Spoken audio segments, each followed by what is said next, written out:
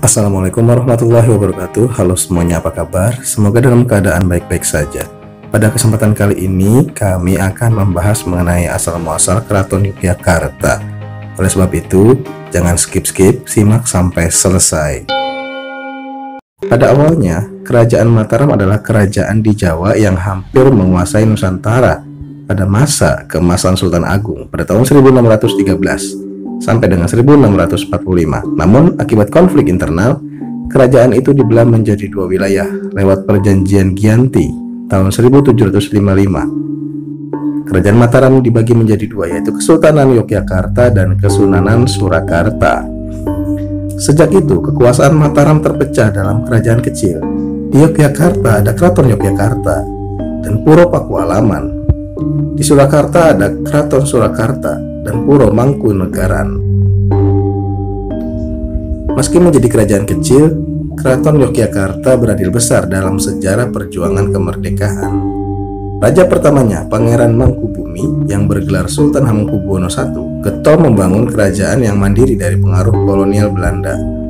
Perjuangan berdarah-darah kemudian digerakkan Pangeran Diponegoro, cucu Hamengkubuwono I, melalui pemberontakan besar yang dikenal sebagai Perang Jawa 1825-1830.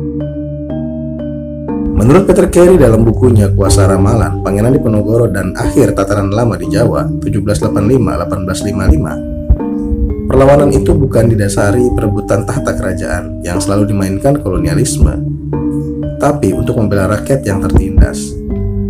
Perang terlama dan berharga mahal itu menewaskan lebih dari 7.000 orang pasukan Diponegoro dan sekitar 8.000 orang pasukan Belanda. Perang di Ponorogo menggambarkan kesadaran mendalam Yogyakarta untuk Nusantara pada masa itu. Meski berangsur reda, setelah penangkapan di Ponorogo, api perlawanan itu terus menyala.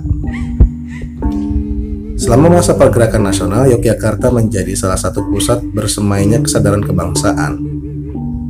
Di kota ini lahir pergerakan Budi Utomo 1908 Deklarasi Sumpah Pemuda 1928 dan organisasi besar Masa Islam Muhammadiyah 1912. Semua itu turut mendorong kemerdekaan Republik Indonesia yang diproklamasikan Soekarno dan Muhammad Hatta di Jakarta 17 Agustus 1945. Tak lama kemudian Sultan Hamengkubuwono IX dan Paku Alam ke-8 menerbitkan Amanat 5 September 1945. Kerajaannya menjadi bagian dari Negara Kesatuan Republik Indonesia.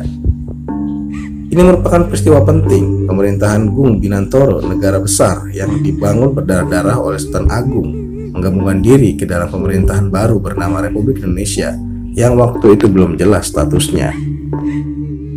Ketika kerajaan lain menginginkan kekuasaan dengan tradisi tradisional, Yogyakarta justru menyerap gelombang demokrasi dan nasionalisme. Padahal dengan bergabung dengan pemerintahan RI, kekuasaan provinsi terbatas dan berada di bawah presiden.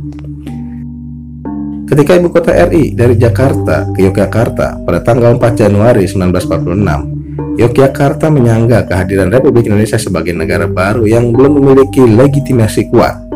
Hanya Yogyakarta yang memiliki persyaratan sebagai sebuah negara, yaitu wilayah yang berdaulat, pemerintahan, dan warga.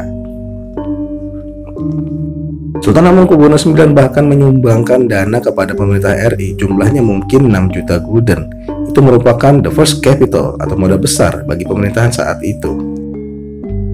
Atas jasa-jasa itu, pemerintah Republik Indonesia mengeluarkan Undang-Undang Nomor 3 Tahun 1950 tentang pembentukan Daerah Istimewa Yogyakarta. Yogyakarta menjadi daerah istimewa setingkat provinsi dengan kepala daerah dan wakilnya dijabat Sultan Hamengkubuwono IX dan Papua Alam ke-8